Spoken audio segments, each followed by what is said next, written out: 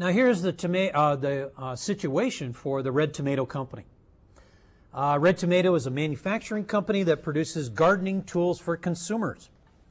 Demand from consumers is highly seasonal, of course, peaking in the spring when everybody is trying to plant their gardens. Red Tomato has decided to use aggregate planning to find the best decisions given its options. Should it add workers during the peak season? Or should it simply work overtime? Should it do a blend of either of those? Should it subcontract production to some of its suppliers? Should it build up inventory in the slow months? Um, and should it backlog orders during peak months of demand? So all of these things can be considered using the, uh, the model we're going to explain.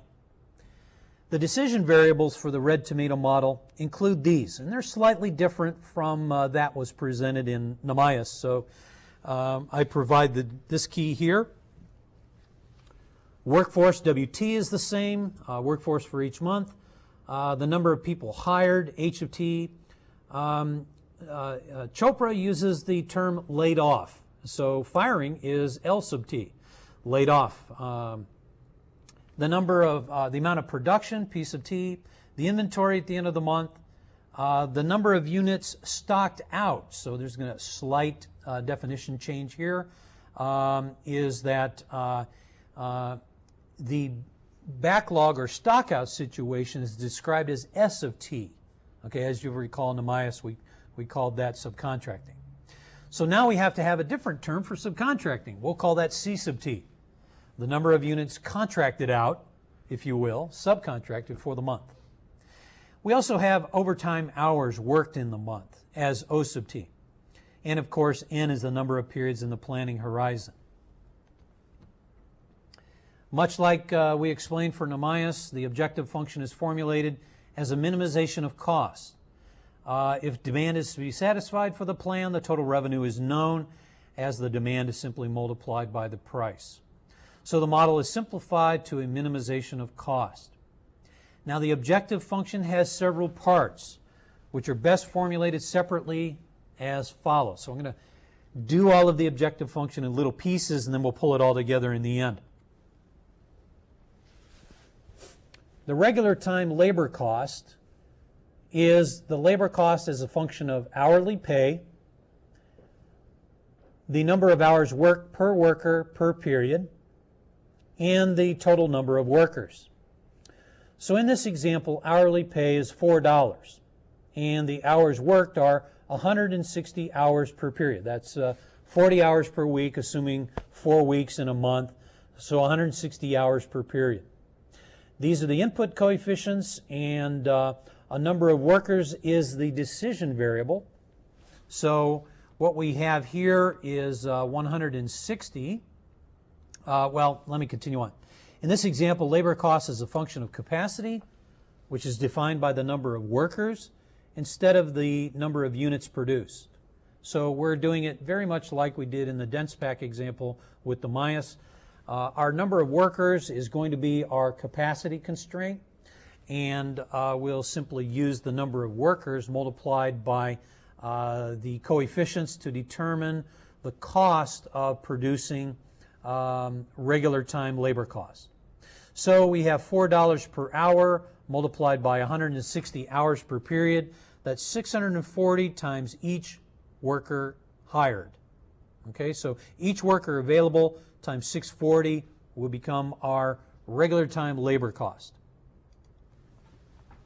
Our overtime labor cost is a function of the hourly overtime pay and the overtime hours worked per worker per period.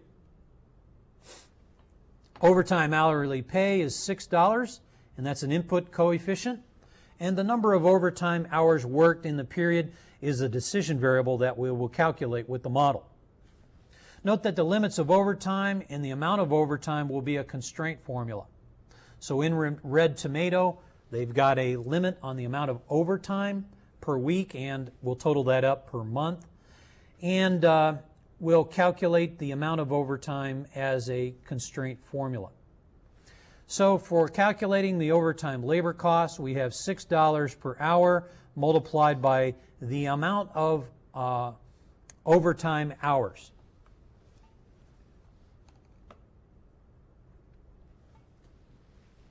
Our capacity change cost is a function of adding capacity multiplied by the units of capacity needed and the cost of removing capacity multiplied by the units of capacity removed.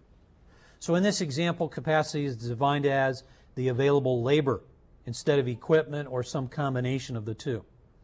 So hiring cost is defined as $300 per worker. That's an input coefficient.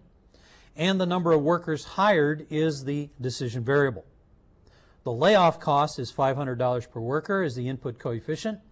And the number of workers laid off is the decision variable. So those pieces of the objective function are 300 times the hired, number of uh, workers hired, and 500 times the number of workers laid off. Our inventory and stockout costs are a function of the cost of holding the inventory multiplied by the units in inventory for every period, and the cost of stockout multiplied by the units in backlog or stockout for every period. In this example, inventory holding cost is $2 per unit per period. That's an input coefficient. And the number of units in inventory is going to be the decision variable.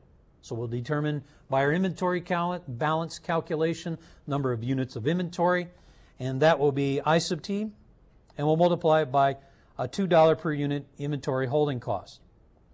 Our stockout cost is $5 per unit per period. As you can see, the stockout cost is relatively high compared to the unit cost of uh, holding inventory. So essentially that represents the relative difference in uh, backlogging a product to the customers. That's kind of a definition of customer, the cost of customer dissatisfaction is uh, relatively high compared to the cost of holding inventory. So typically this is how those kinds of decisions are made. You make a, the relative cost of holding the inventory low compared to the relative cost of backlogging or stock out, um, as that is customer dissatisfaction or uh, lost margin in revenue or a similar kind of economic value to dissatisfying a customer.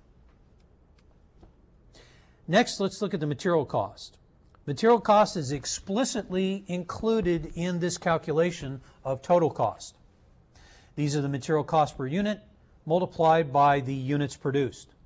So this is that variable cost portion of the production of the product that does not include overhead and does not include labor cost. We're accounting for those separately. Um, this is only the material cost. In this example, the aggregate unit of material cost is $10 per unit for the gardening tool. That is an input coefficient, and the number of units produced in the period is the decision variable. So here is our production that will uh, be determined uh, for every period, and here is the unit uh, variable cost of material, $10 per unit produced.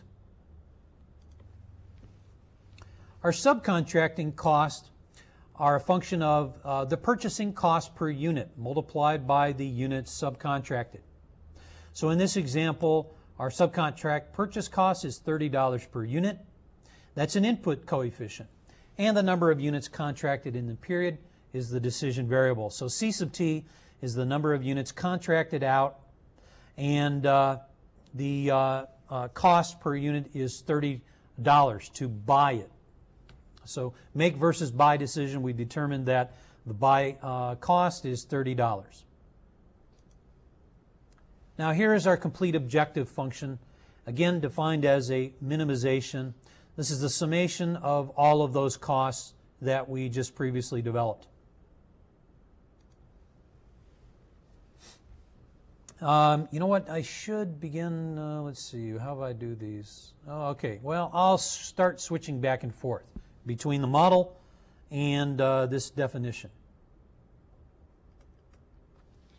Here is the red tomato um, model. Uh, first, I want to describe the inputs so you know where those are. Those are on a separate uh, worksheet. And you can see that uh, the first input is the demand forecast, January through June.